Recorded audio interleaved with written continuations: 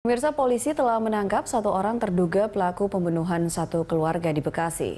Ini kini terduga pelaku disebut berinisial HS masih diperiksa intensif oleh penyidik.